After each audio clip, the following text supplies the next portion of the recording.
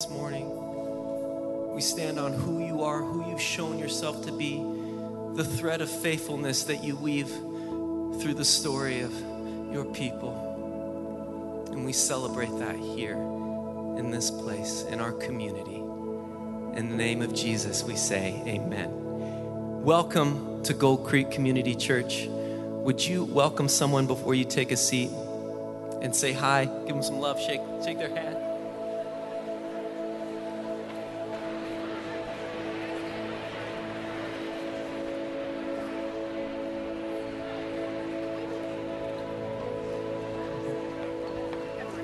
Thank you. Thank you. Thank you. Good morning. Thank you. No, it's my pleasure. Once again, welcome. We're glad you're here. If you're new today, welcome. A very special welcome to you. One of our core values here at Gold Creek is contribution. This is the time in the service when we can contribute back to what God has blessed us. And so the ushers are going to start the buckets. Just pass them to your left in your section. When it gets to the end of your section, you can set them on the floor and they'll come by and collect them. Go ahead and start those buckets now. Another way that we contribute is by service. And yesterday was our first day of hope. Where over 300 of you took part in this day across the city where we took projects on. You'll see some photos behind me of some of the things that went on. But it was an absolutely, absolutely amazing day. We, did, uh, we worked at seven of the schools in Snohomish and Everett. We uh, worked at four county parks. There was a group that did oil changes for uh, single moms. We helped at 10 different homes where we built wheelchair ramps and that kind of thing. We distributed lunches down in Everett. Just lots and lots of things going on. Lots of things going on here. They were doing haircuts here. But in all, with us coming together to do our day of hope and serving people, we contributed about 50, 30 to fifty thousand dollars worth of stuff, and it was just amazing. So thank you. Give yourselves a hand.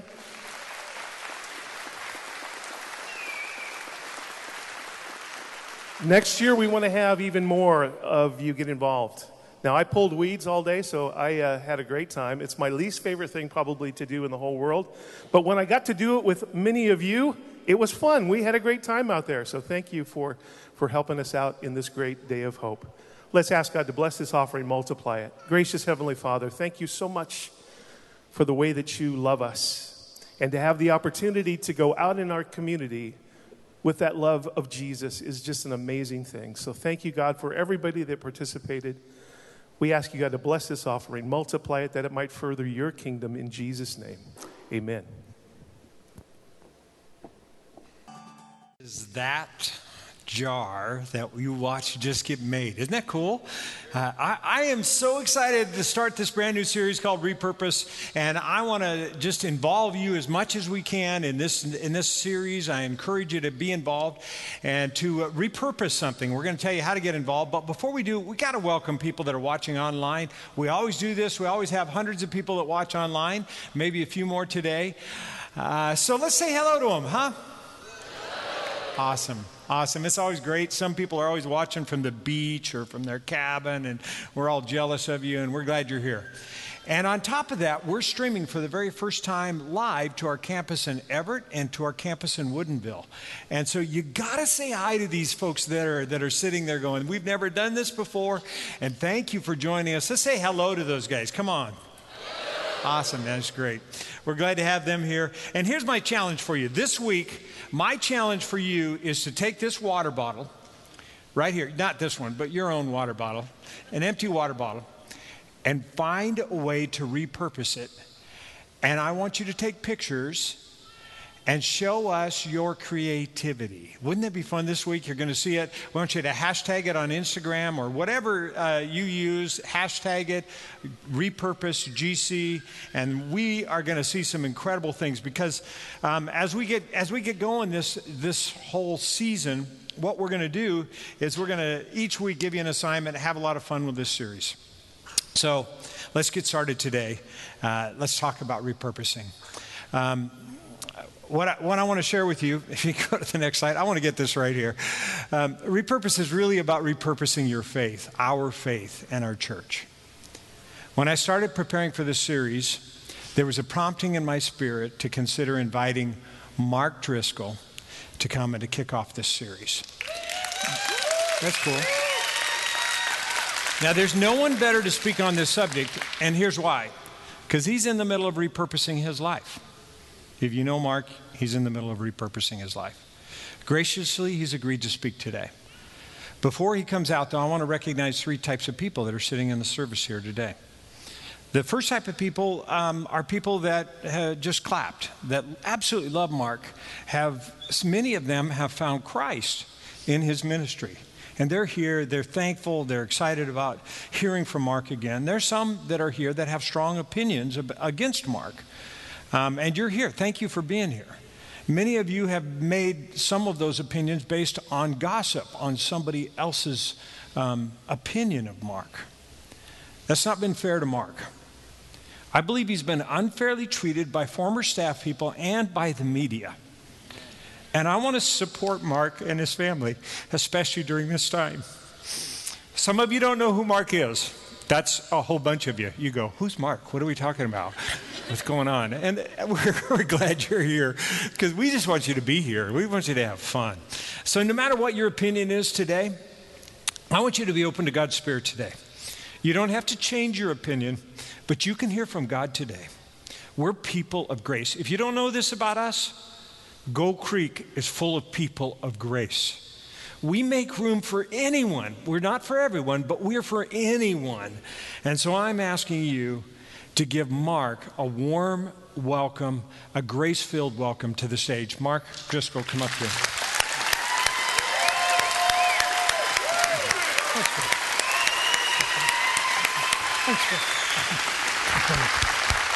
Thank you. Thank you. Now I want you to be seated just for a minute. I, before Mark, before you, you come, I want to thank you for coming today. Thanks for having I me. I can't wait to hear you teach on repurpose. Uh, we met together for lunch yeah. and had a great conversation. I got to know you, you got to know me. We didn't know each other before this, and it's a, kind of a sad thing. I wish I'd have known you before now, um, but it's a privilege to know you. Um, Mark, um, as we've talked about, we're from different theological camps, but there's one thing that we. Yeah, Team Jesus is Jesus. yeah, yeah. That's the one thing we totally agree on is pointing people to Jesus. I know that's what you want to do, and I know that's an exciting thing. Now, I have two things to tell you before you teach. The first thing that I want to tell you is um, uh, that um, you have reached thousands of people here in Seattle. You planted a church how many years ago?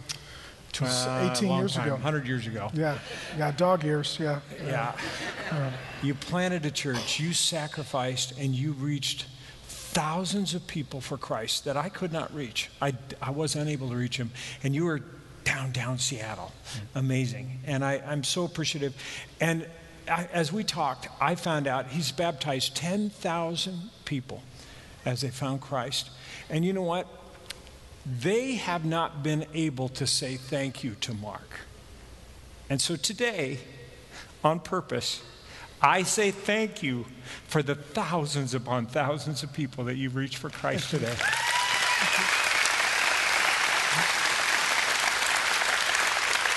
Now, I know you're probably not going to stay in the area, going to go somewhere and start a church somewhere else or whatever you choose to do.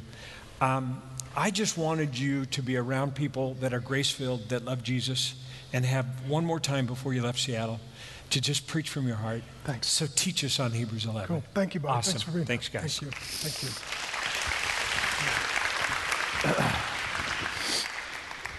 Try and regain what's left of my composure. Pastor Dan surprised me with that. It's an honor to be here with you. I love you. Um, I, I, love what God is doing um, in your church and so many uh, of the faithful um, Jesus loving, Bible teaching uh, people serving churches in our region.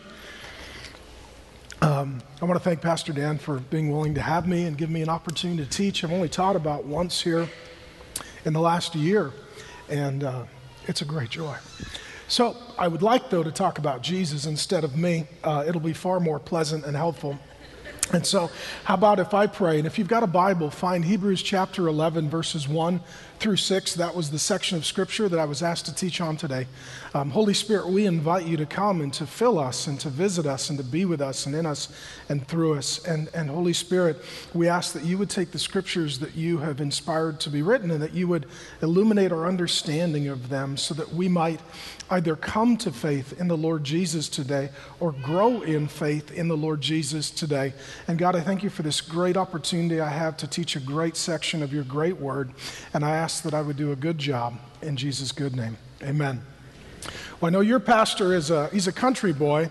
He likes to hunt and fish and hike. And I, I, I was a city boy. I grew up in SeaTac, South Seattle. So the only time we ever saw a gun, it was coming out of a pair of sweatpants to be shot sideways, which is uh, not ideal. And, uh, and so didn't, didn't do a lot of hunting and fishing. In fact, uh, I didn't tell Pastor Dan this, otherwise he may not have invited me. I've never been hunting or fishing.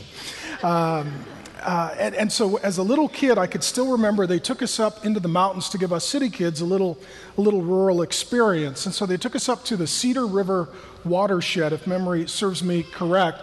And there they told us city kids where our water comes from. So they showed us, well, the snowpack is up here, it melts, it comes down through the streams and the rivers into the lakes, and then it collects in the watershed. And this is where you get all of your fresh water, and we pipe it into your house so you can make Kool Aid. And uh, they explained that was the water table. And they gave us a little lecture, and they said, if you're ever trapped alone in the woods, which would never happen, but if you're ever trapped alone in the woods, there are four things you need you need water you need air, you need food, and you need shelter. And without those four things, you can't survive. And I agree with those things, but some years later, I would add one thing to the list, and that's hope. I think you can have provision for the body, but if you don't have provision for the heart and the soul, you're not going to live. And you, in fact, may become so despondent, so discouraged, so depressed that you even take your own life because you can't live without hope. Amen? And we live in a nation that is committed to life, liberty, and the pursuit of happiness, and that experiment isn't going that well. The number one category of prescription medications in the US is antidepressants. That when people look at their future, they feel overwhelmed, they feel discouraged, they feel bleak, they feel hopeless. Some become tragically depressed, others become despondent altogether. And maybe some of you are here. And, and I believe what we need to live is we need, we need hope. And the question is, where do you get hope? How do you get hope? And the truth is that, that hope is the byproduct of something else. It's the byproduct of faith. That just like a mother births children, it's faith that births hope. And so, as I've been praying and preparing for this message, I'm really asking the God of the Bible, the Lord Jesus Christ, to impart to you faith that would birth hope. That whether or not you came here with faith, you would leave here with faith in Jesus or more faith in Jesus, and that would birth hope for your future and hope for your life. Because the truth is, when we look at the future and the things that are set before us and our own resources, we come quickly to the conclusion that we are in very serious trouble. And I know that some of you are here today, and it's physically, mentally, spiritually, emotionally, financially, maritally, related, uh, relationally. Your, your, your future is a bleak one. It's a hard one. It's a dark one. It's a tough one. And how do you have hope that you'll make it through it and that there will be something good for you in the future? And that is only going to happen as you come to faith or grow in faith, and then that faith becomes pregnant with hope for your future. And that's what I'm praying for you. And so our theme today is faith, and my hope today is that hope would be birthed out of faith. And so we'll look at one of the greatest sections of the whole Bible on faith, Hebrews 11, verses 1 through 6. And I want to begin with faith biblically. Uh, faith 11, 1. Here it is. Faith is the confidence that what we hope for will actually happen. It gives us assurance about things we cannot see. Faith is one of the great mega themes of the whole Bible from beginning to end, and that's why we even call Christianity the Christian faith. And this is the Bible's tweet on faith. It was written a long time ago, but if the Bible pulled out one verse and sent it out as the global tweet on faith, it would probably be, arguably be, Hebrews 11 1. This is the Bible's definition of faith. And let me distinguish this definition from others. Faith is not just optimism or positive thinking. How many of you are actually annoyed and frustrated by positive thinking? Right? I mean, because people well, it could be worse it could be worse and it could be better just so you know. And and positive optimism does, you got hit by a car at least it wasn't a truck. Yay! You know what? I'm still not excited about the situation i find myself in so it's not just optimism it's not just um, positive thinking and that's not necessarily bad but just sometimes changing your attitude doesn't change your circumstances in addition, faith is not sight. Sight is easy. You know where you're going, you know what you're doing. Okay, this is where the Lord has me to go, and, and I'll proceed forward boldly, eyes wide open. I know what God is doing, and I know how I'm responding. Well, that's sight. Sight's easy. Faith is when you don't see and you don't know. God, where are you? God, what are you saying? What are you doing? Where am I going? How will I make it? that's when faith kicks in. And so faith is not just optimism, it is not sight, but what faith is, faith is trusting in someone or trusting in something. Here's the question Is it, are they faithful?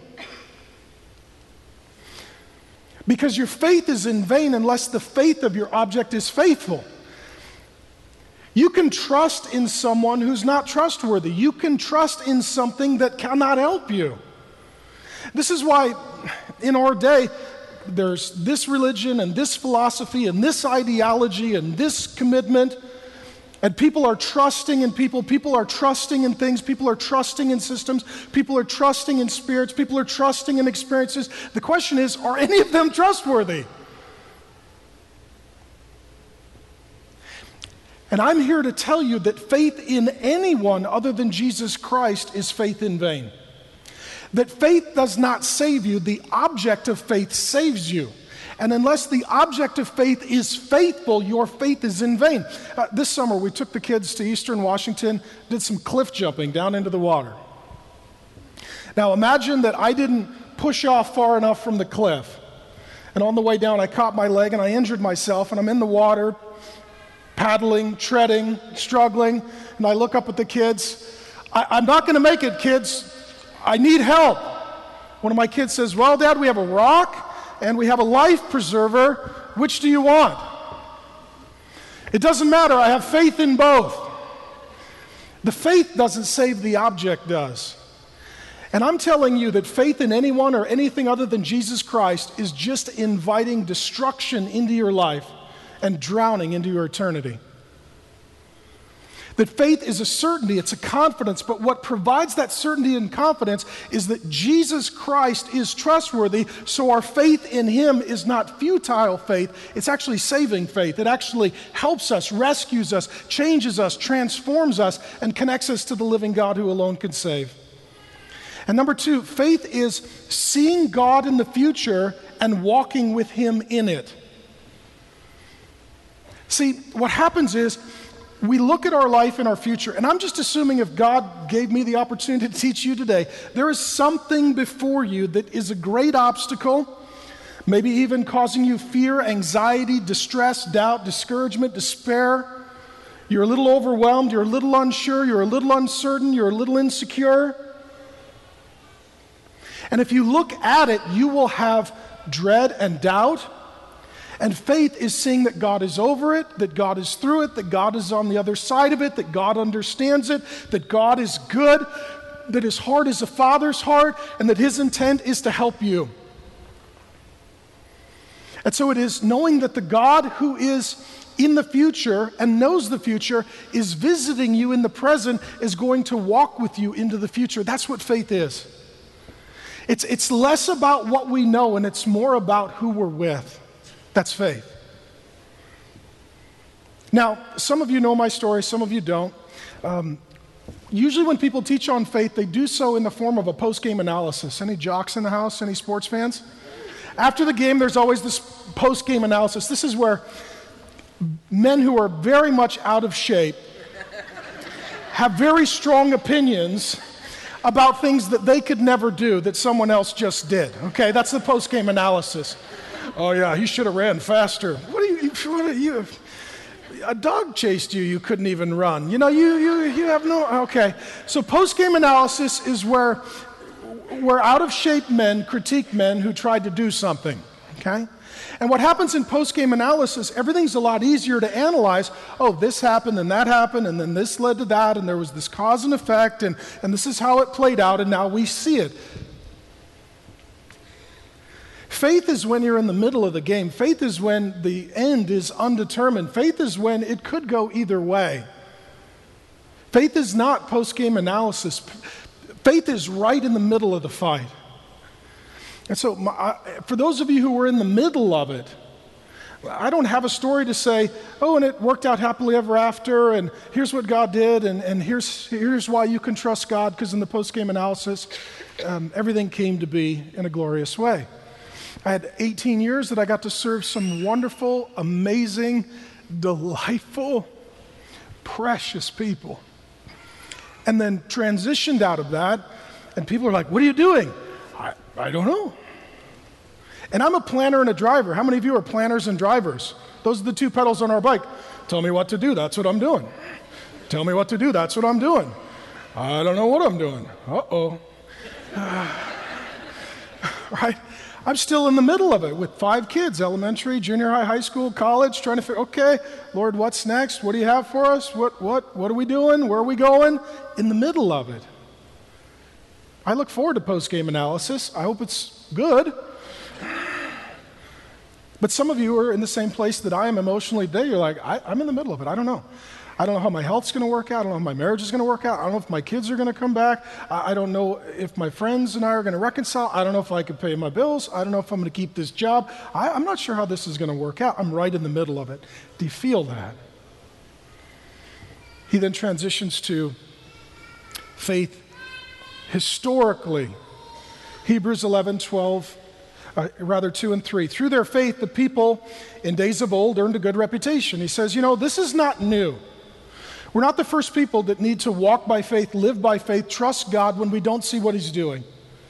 In fact, the whole record of Scripture are people who came before us that were in situations like us that trusted God, and their stories are written down to give us some encouragement, some hope, some clarity for our future. And then he goes way back. By faith, we understand that the entire universe was formed at God's command. That what we now see did not come from anything that can be seen. Okay? This, this seems tangential, does it not? Trust the Lord, trust the Lord. Now creation, evolution. Like, what? But these are inextricably linked because here's what he's saying there are some things you just won't ever know. You'll never know. How many of you you say, God, I've got questions? Well, now we know in part. And one day we'll know as we're fully known, the Bible says you're going to have to acknowledge that in this life, there are certain things that you will never know. You're going to have to trust somebody. And he uses this example of creation. I mean, this is the best example, right? We're still fighting about it. Right? We live on this glorious planet, and there's a huge debate how did it get here?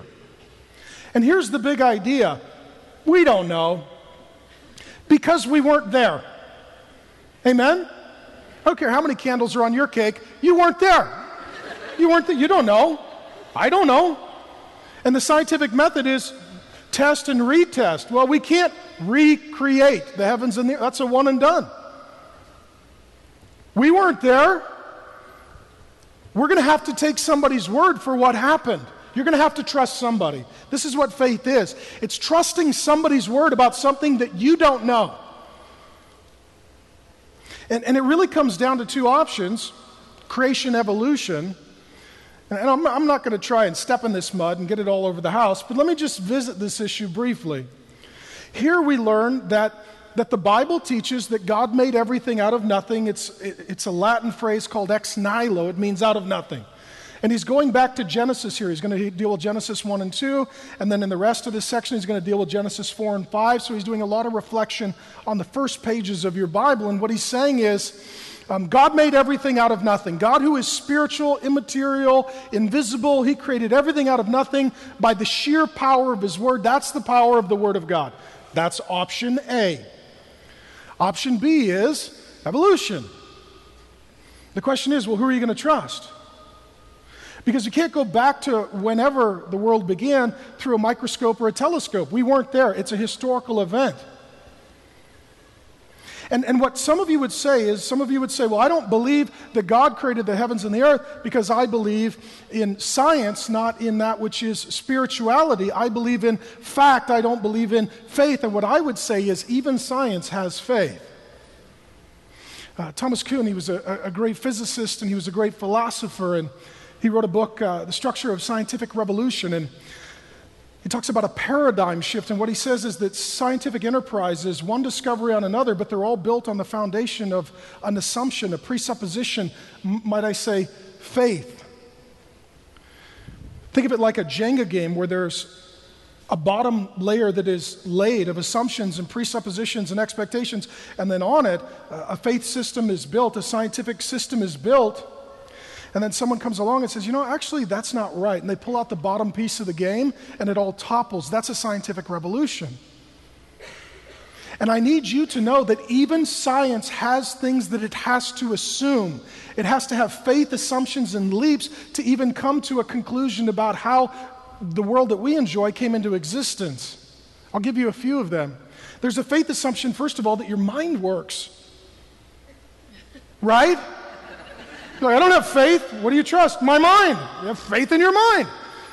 Are you out of your mind? Uh, you're trusting it. How do you know that your mind works? How do you know that your mind corresponds with reality? How do you know that your mind receives and interprets data accurately to come to some scientific conclusion? You're like, I don't know, I just trust it. Well, there you go. That's faith. You're trusting in your own mind. You're trusting in your own data. You're trusting in your own experience. Furthermore, to, to, believe, to believe a purely atheistic evolutionary position, and Pastor Dan and I talked about this. I, I don't know how old the earth is. There's all kinds of secondary issues. Right? You go to the store, you buy the milk. What do you read? The date. The earth isn't like that. I don't know how old it is. Right? It, I don't know how old the earth is. I, there's a lot of things I don't understand. I don't pretend to be a scientist. But here's what I do know God made the heavens and the earth. And if you don't believe that, you have to trust your own mind. You have to trust that chaos made order. Okay? Chaos, how many of you have a teenager? So you, you understand chaos. You realize no, chaos never makes order. You have to trust that no designer ended up in a design. That, that the human body and the world in which we live is finely tuned for human life. And you have to say, well, this is a great design. No designer. You have to assume that, that, that though we are personal, that we come from that which is impersonal, so the impersonal made the personal. Though we have intelligence, you have to assume that that which was unintelligent, just matter, created and formed, that which is intelligent, human beings. And so it really comes down to then you either have to decide, well, if I don't believe that God created the heavens and the earth, either um, the universe is eternal, it's always existed without beginning or end, but it seems to be winding down, and Big Bang cosmology would tell you it had a beginning, it'll have an end. Second law of thermodynamics says that it's winding down. Or you have to say, nothing made everything. Let's think about this. Nothing made it. Where did everything come from? From nothing, but where's God? There is no God. See, you may say Big Bang, you may say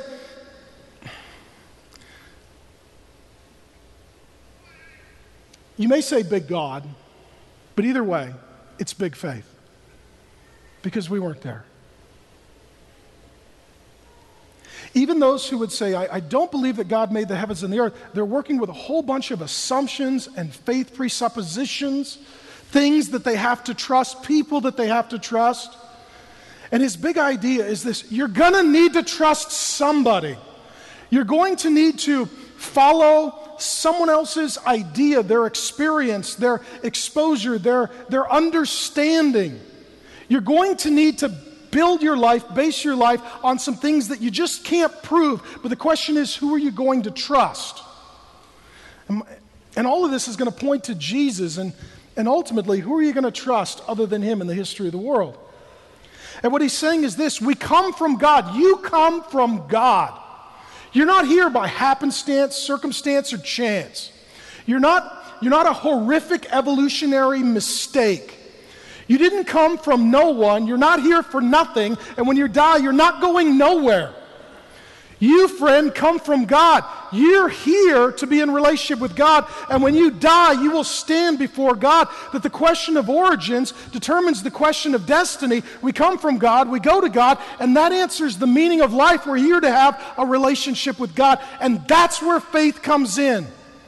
That life lived apart from God is a life that doesn't make ultimate sense and doesn't have eternal joy that all of life is by faith to be connected to the one who created us. He is the source of life, and life does not function, work appropriately apart from a relationship with Him.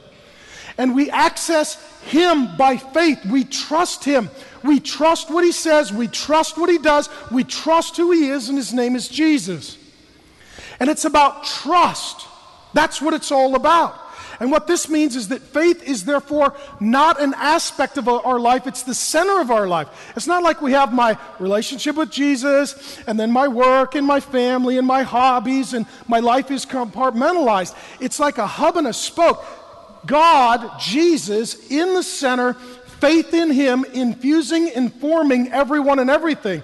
My faith in my work, my faith in my marriage, my faith in my dating relationship, my faith in my education, my faith in my finances, my faith in my hobbies, my faith infusing, informing all of my whole life because I was made by God. I'm here for God. I belong to God. I'll stand before God. And in the meantime, it's about God's life and love flowing through me by faith.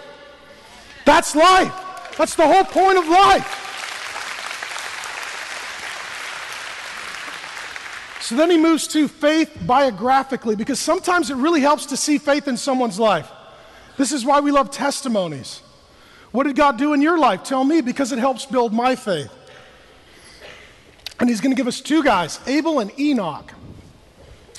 Hebrews 11, 4 and 5. It was by faith that Abel brought a more acceptable offering to God than Cain did. Two brothers. Right, Genesis, there's Adam, there's Eve. They have two brothers, Cain and Abel. Abel's offering gave evidence that he was a righteous man and God showed his approval of his gifts. Although Abel is long dead, he still speaks to us by his example of faith. There's our theme. It was by faith that Enoch was taken up, second guy, to heaven without dying. He disappeared because God took him. For before he was taken up, he was known as a person who pleased God. So we've looked at faith biblically, faith historically. Now we're going to look at faith biographically. What's it look like when someone lives by faith? Two guys, Abel and Enoch. Genesis 4, Genesis 5, we're back to the beginning. Well, Abel and his brother are spoken of. I'll read it to you in Genesis 4. Now, Abel kept flocks. We'll call him a rancher. Any, any of you have animals, livestock? Okay, that's, that's Abel. Cain worked the soil. He's a farmer. If you've got a garden, that counts too, but he likes growing his food. So you've got a rancher and you've got a farmer, two brothers. In the course of time, Cain brought some of the first fruits of the soil as an offering to the Lord, but Abel brought fat portions from some of the firstborn of his flock. The Lord looked with favor on Abel and his offering, but on Cain and his offering he did not look with favor. So Cain was very angry, and his face was very downcast. Here's the big idea two guys come to worship the Lord, they're brothers.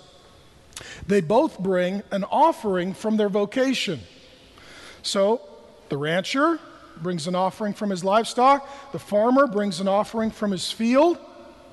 They both bring their offering to the Lord. They're there together doing the same thing, the same day, the same way. And God looks at Abel and says, I receive your offering, looks at Cain and says, I reject your offering. And then the question is, why? Two brothers, same place, same time, doing the same thing. Why yes to one and no to the other? And the theologians will debate. That's what theologians like to do. And they'll debate that maybe there was something wrong in what was in Cain's hands. Here's what I would tell you there was nothing wrong with what Abel brought in his hands, there was nothing wrong with what Cain brought in his hands. The difference is what they brought in their heart. They both had their offering externally, but only Abel had faith internally. And so God looked down and said, I not only see what's in Abel's hands, I see what's in his heart, and I'm pleased with him. He looked down at Cain and said, I see what's in his hands, and I see what's in his heart, and I'm displeased with him because man looks at the outward and God looks at the heart. God looks at the heart. See, Abel is redeemed and Cain is religious. Religious people do the same thing as redeemed people. Today, I don't know if you're Cain or Abel. Okay, you all got up, you got dressed, you drove to the same building, you're sitting in seats, you're listening to the same message, you're singing the same songs. When the bucket came by, you put in your offering just like they did. From the outside, we can't tell. Right, do you know Jesus? Do you belong to Jesus? Do you trust Jesus? Do you love Jesus? Do you have faith in Jesus? We can't tell, but God can. God sees not only what's in your hands, He sees what's in your heart.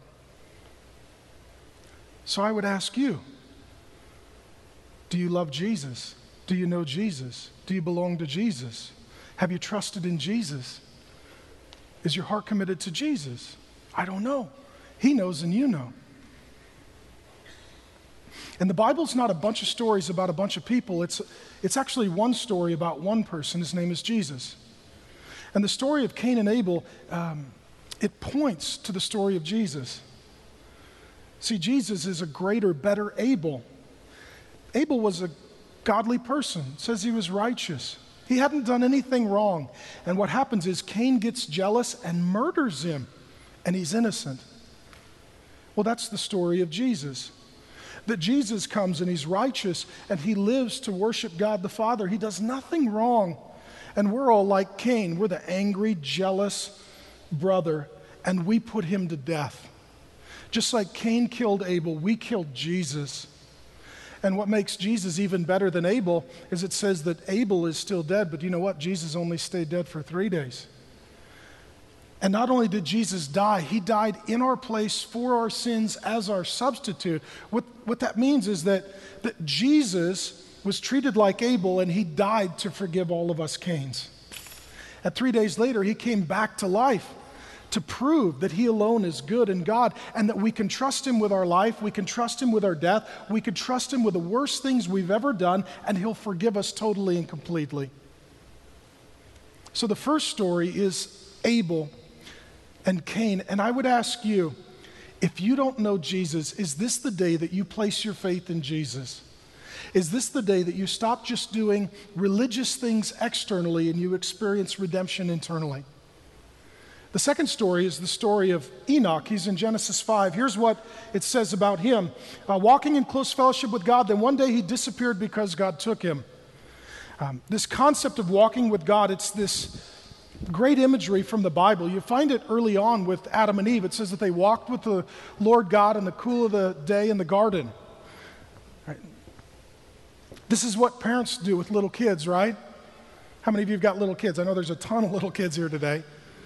I got five kids. They're older now, but when they're little, what do you do with them? Especially when you're in a busy place or you're in a hurry. You hold their hand and you keep an eye. You look, just stick with me, stay close. How many of you had the wandering kid? a free range kid. You had to keep an eye on that one, right? Well, that's walking with the kid to keep them safe and to lead and to guide them. This is the concept of the Bible that God's a father and we're like his kids. And walking with God means through prayer and faith and reading your Bible and listening to the Holy Spirit. You're saying, okay, Dad, I'm walking with you. Well, it says that Enoch walked with God and then he was no more. He was just taken up into heaven, apparently. There's only two guys in the Bible that I can find that never died, they just got to go straight to heaven. Enoch and Elijah. Just as Enoch was taken, boom, gone. Elijah got a fiery chariot. I mean, like rims and cup holders, like really pretty amazing HOV lane up to the kingdom of God for Elijah. So, why did God take Enoch? Well, because the flood was coming. There was a flood coming, if you keep reading in Genesis. And the flood was going to be judgment and devastation and death for those who didn't belong to the Lord. Those who had faith in the Lord, they were saved, they were spared. This is a picture of heaven and hell. That, friends, there, there, there, there is a, a judgment There's a judgment coming on the earth. And next time you watch the news and you just shake your head like, I am sick of it. This needs to stop. This world is broken. People are evil. There's enough death and destruction and devastation. There's enough poverty and pain. I've had enough. I've had it up to here. I can't take it anymore. This needs to stop. Imagine being God.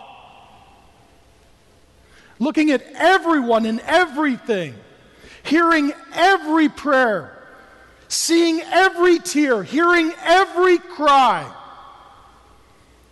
God is loving, God is merciful, God is gracious, God is compassionate, God is forgiving, and God is good.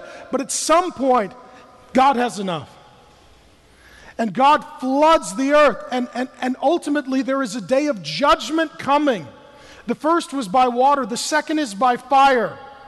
And do not be deceived. God will not be mocked. We will reap what we sow. And facing that judgment, Enoch walked with God and he was delivered. The point is, the only way to be delivered from the fate of judgment that awaits all humanity is to walk with God by faith, to trust in the Lord Jesus.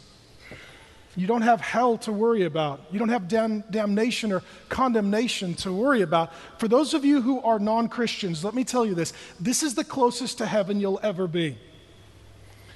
For those of you who are Christians, let me tell you this this is as close to hell as you'll ever be. And Enoch walked with God. Are you walking with God? And Enoch was spared from judgment. You can be spared from judgment. And Enoch experienced nothing but joy in the presence of God forever. And you can experience nothing but joy in the presence of God forever. And his point is that faith, it ultimately demonstrates itself in our worship, like Abel, and our walk, like Enoch. Do you worship Jesus? Are you walking with Jesus? And, and I want to make this very practical. Walking with Jesus means, first of all, you ask Him to save you and make you a Christian. That you start reading your Bible to hear from Him. That you pray to talk to Him. That you get to know people who are also walking with Him as part of the family of God. And these things together help you to walk with God. So, my final point is faith personally. I don't want this just to be a treatise on faith. I want you to have faith. And for those of you that have faith, I want your faith to birth hope so you leave here with hope for your future and hope for your life. It says this in Hebrews 11:6, and it is impossible to please God without faith. Okay? If I've not offended you, let me do it now. Okay? Make sure, make sure I'm clear on this. Let's say you have no faith in the God of the Bible. Your good works don't please him. Your morality doesn't please him. Trying better doesn't please him. Trying harder doesn't please him. Doing nice things for other people doesn't please him. Following various causes doesn't please him. Voting for the right candidate doesn't please him. Giving him a percentage of your money doesn't please him. What pleases him is trusting in him.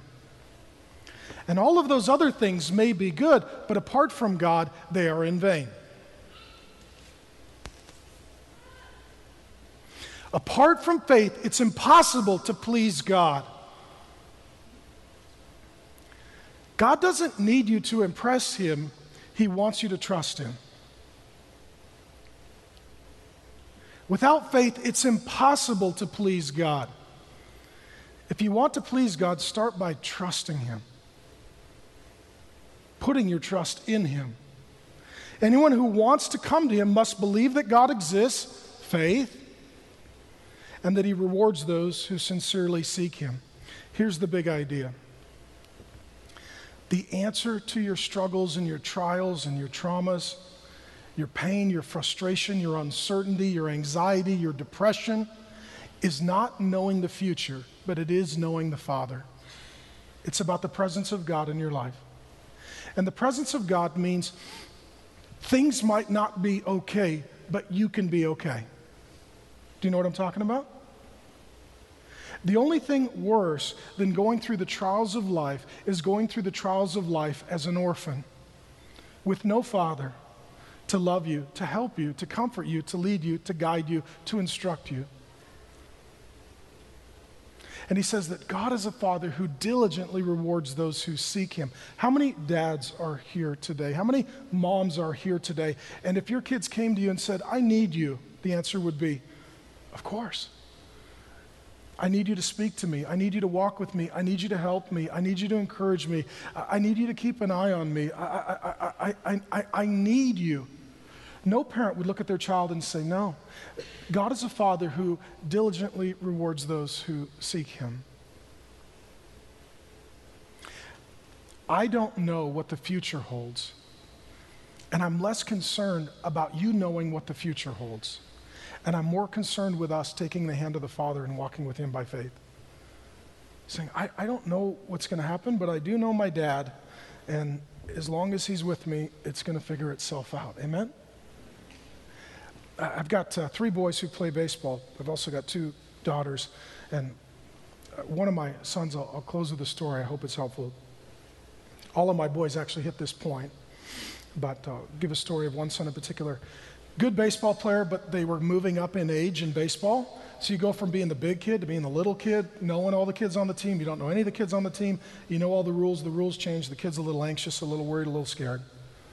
So my kid says, uh, That's it. I quit baseball. I'm not playing anymore. At like, you know, eight, nine years of age. That's it. They're going to retire. Their career's over. I was like, no, you, you, buddy, you love playing baseball. I know they love to play baseball because this is the kid who last year played four games, came home, and went outside and played wiffle ball. I took a nap. I was exhausted from watching him play baseball. And he's out to play wiffle ball after four games. I said, You love playing baseball. Yeah, but I'm not playing anymore. I quit. I said, No, you got to go to practice. I don't know the coach. The kids are big. I don't know the rules. I don't, you know, I don't know. No, I quit. You can't. You, we had this, you know, you can't make me go. Like, I'm bigger. I probably could if I had to, but you know, we'll, we'll, we'll work around this. Um, I said, No, you're going to go. They skipped some practices, refused to go. If I said, No, you're going to go. You're going to go. You're going to get in the car, and here's the deal I'm going to go with you. So I, I made this deal with my kid. So put my kid in the car, and the kid is not cooperative right? Literally, we, we pull in, and my kid has wrapped themselves in the seatbelt. They're trying to tie themselves in the truck. like, I'm not going. I'm like, come on, Houdini, let's go to practice and just see what happens. And so finally, I get my kid out of the seatbelt, and, uh, and, and he's, he's looking at me. He's like, I'm not going. I said, no, uh, take my hand. Here's what we're going to do. Right? Here's what we're going to do. I am going to go on the field with you, and I'm just going to be right here with you. You're not going to be alone. And when you feel like you're ready, I've got my glove, I'll play catch with you and warm you up. And then, if and when you feel ready, you can go play with the team. But I'll stand right here, right on the sidelines. I'll keep an eye on you. I'm right here for you if you need me. I promise you're not alone. So we're out in the field, and it, it looks really weird. It's like a bunch of nine year olds and me. it's like, I think that kid can hit, you know. Uh, uh, and I'm like, hey, coach, sorry, we're kind of working on a situation here. This is, you know, I'm trying to warm my son up to this situation. Just give us a little time. Coach was very gracious, very kind. My son looks at me and says, I am going to run away. I said, buddy, where are you going to go? He's like, I don't know, and you can't catch me. I said, you, you're right. I can't catch you. Please don't run away. I am slow and have very, very little cardio. Um, I said, buddy, please don't. So I get down on my, you know, squat, and I'm like, buddy, look, I love you. Don't run away. Don't quit. I'm just going to hang out with you until you feel like you're ready to play catch. And I s- sat in this position, a former catcher, for a long time. Eventually, he looked at me. He's like, "All right, I'll play catch now." Okay. We start playing catch. Takes a step back. Takes a step back. Takes a step back. Pretty soon he's warmed up. I looked at him. I said, "You ready to join the team?" He said, "Yeah, Dad. I'll go play now." He said, "But you'll be right there on the sideline, right?" I said, "I'll be right there." I'll be watching everything. If you need anything, Dad's right here for you. You're not alone. I'm right here. He's on the team. They're undefeated. God's grace is on my son, and he's working it out. Here's what faith is it's understanding I'm a child of God, you're a child of God. And faith is saying, Dad, I am scared. I don't know what to do. I don't know what's going to happen. I, I, don't, I, am afraid to go forward. I, I don't know if I'm going to make it. Dad, I need you to make sure that you take my hand and you walk with me and that you don't leave me and that you're there for me. And no matter what happens, you're going to take care of me. God rewards those who diligently seek Him. The kids who put their hand up, the Father always says, Absolutely. Amen? If you're here today and you would like to give your life to the Lord Jesus, or maybe you're in a place where you're really struggling with your faith, I want to pray over you and I want to ask the Holy Spirit to impart to you faith that would give you hope. And so I'm going to ask you to bow your heads and I'm going to ask you to raise your hand, just like a little kid raises their hand to their dad, asking him to lead them, to guide them, to walk with them, to protect them, to serve them, to assist them. Father God, for those who have their hands up or are now placing their hands up, these are your children. These are your sons. These are your daughters. Lord, I can preach, but only you can provide presence. Holy Spirit, I ask you to come right now and to be with your people, to take people who aren't your people and to make them your people, to adopt them into your family that they would not be orphans but sons and daughters. Lord God, I pray for those that last week was hard and this week seems even harder. For those, Lord God, who feel a little overwhelmed, a little discouraged, a little despairing, a little depressed, that, Lord God, as they look at their future, that they would first look at their Father. Father, would you come right now and take the hands of every son and daughter? Would you give them faith to trust you so that hope would be birthed in them? that they could walk out of this place not as orphans filled with fear, but as sons and daughters holding the hand of a loving Father. I ask for this, Lord God, that they would know your presence, that they would know your peace, that they would know your provision. And Lord God, we're asking you to make good on your word, to reward those who seek you in Jesus' name. Amen.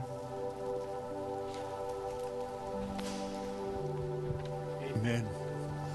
Pastor Mark, if you just stay up here with me. You know, what Mark said is just powerful. And, and I'm, I'm convinced today there are some people that said, I really want to put my faith in Jesus Christ. This is a great day for them. If you've done that today, um, I, I, just, I'd encourage you to tell Mark. He's going to hang out right here in the corner. We'd love to meet you. But there's also a yes table in the back foyer. We just had a, we, we, we believe today, and when you and I talked, we were hoping that people would put their faith in Jesus Absolutely. Christ. And maybe some other people that need to renew their faith in Jesus Christ. And that's what our hope is for you. If you haven't done that and you want to do that, I mean, just this is your moment. Don't waste this moment. Put your faith in Jesus Christ. Mark's not a big deal. I'm not a big deal. Jesus is a big deal. Amen. And that's what we want you to know putting your faith in Jesus Christ makes a huge difference. So if you said yes today, would you stop by at the yes table? If you just want to pray or anything, I invite you to come forward. Mark's going to hang right up here. He's, he's available for people that want to talk to him. Um, if you are one of those people that is not excited about him being here and you want to tell him that, I encourage you to go across the street and join those folks over there. That's their opportunity to do that. And it's awesome. It's great. Today, we're just going to be positive in here. May God bless you. Lord Jesus, thank you for your presence here. Thank you for those that are making decisions to put their faith in you. Thank you for what you're doing in Mark's life and his faith in you to walk with him in the future, whatever that holds. We ask for you to remake and remold and to make him into an incredible minister that will have an incredibly bright future. I thank you, Lord Jesus, for the privilege of serving you and sharing Christ today. And we pray this in Jesus' name. Amen. Would you stand, please? And you're dismissed. God bless you as you go. We'll be right up here.